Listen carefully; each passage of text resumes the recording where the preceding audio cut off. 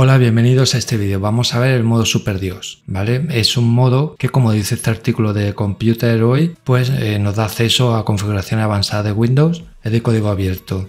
Tenemos que ir a la página del proyecto. A ustedes os dejaré el enlace en la descripción del vídeo. Aquí vamos a hacer clic en PS1 para que se descargue. Puede que nos diga que es dañino, así que le damos a conservar y se descargará. Luego el archivo BAT también hay que descargarlo. Vamos a hacer clic ahí y le damos a conservar. Luego vamos a donde se ha descargado. Aquí lo tengo doblemente descargado. Hacer doble clic sobre el archivo BAT. Más información, ejecutar de todas formas.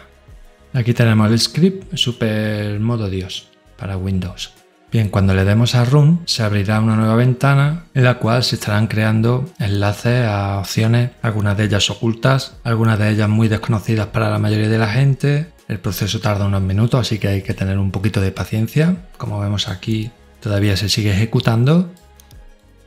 Y bueno, pues aquí tenemos ya un resumen de todo lo nuevo. Tenemos, digamos, 1035 ítems. Vamos a presionar un botón para salir ya de la ventana. Ahora tenemos una nueva carpeta llamada Supermodo Dios con todo ello que hemos dicho anteriormente. Las opciones están muy bien organizadas. Vamos a ir, por ejemplo, a ver qué hay en esto. Creo que será enlace a aplicaciones ocultas. Como son tantas opciones, esto es lo mejor ya que ustedes vayan probando. Por ejemplo, tenemos opciones de la tienda Microsoft Store. Eh, aquí setting, vamos a ver si nos lleva directamente. Eh, sí, eh, haciendo clic directamente nos lleva a las opciones.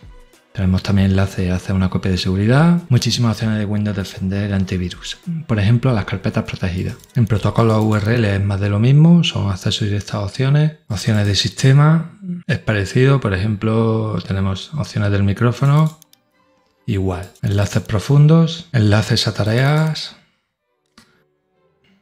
Tenemos acceso a las carpetas especiales, carpeta de captura. La última carpeta es más de lo mismo. Bueno, aquí tenéis un archivo de texto en inglés con más información y consejos.